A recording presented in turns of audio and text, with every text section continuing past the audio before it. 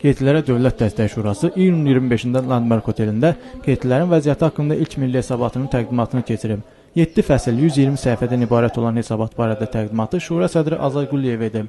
Hesabat qeydlilərin ictimai tarixinə baxış, hüquqi bazası, ümumi statistikası, təsnifatı, qeydli dövlət münasibətləri, maliyyə mənbələri və sair fəsillərdən ibarətdir.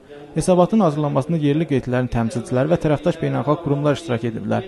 Sənəddə ötən il qeydli sektoruna dövlət, beynəlxalq təşkilatlar və özəl qurumlar tərəfindən 30 milyon manat məbləğində qrant layihələrinə ayrıldığı, bütün bunlardan milyon yarım insanın faydalandığı nəzərə çatdırılıb. Azay Quliyev dövlət büdcəsinin qeydlər üçün ayrılan maliyyə vəsaitlərinin az olduğunu deyərək, bunun artırılmasını vacib saydığını söyləyib.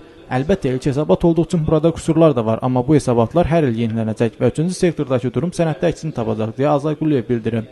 Prezident Administrasiyası İctimai Siyasət Şöbəsinin müdiri Əli Həsənov nə üçünsə Azərbaycan Milli Azadlıq Hərəkatının əsas qüvvəsi olan Azərbaycan Xalq Cəbhəsini çağdaş dövr üçün ilk qeydə kimi təqdim edib. 1995-ci ildə isə ömrünü başa vurduğunu söyləyib.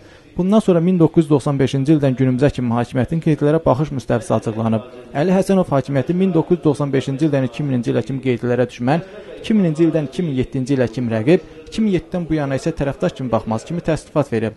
O konkret ad çəkmədən bəzi qeydlərə səslənərək onları bu ictimai fəaliyyət sahəsinə gəlir mənbəyinə döndərməməyə çağırıb. Eyni zamanda qeydləri ictimai həyatda və dövlət siyasətinin müəyyənləşməsində fəal iştiraka dəvət edib. Daha sonra çıxış edən natiqlər hakimiyyətə qeydi sektorunu maliyyələşdirmək üçün sahibkarlara təsir göstərmək, büdcədən ayrılan vəsaitləri artırmaq, qrant layihələrindən vergilərin tutulmasını aradan qaldırmaq kimi təkliflər irəli sürüblər. Bununla yanaşı tədbirdə qeydlərin peşə etikasını müəyyən edən məsuliyyət xartiyasının hazırlanmasında zəruriliyi önə çəkilib.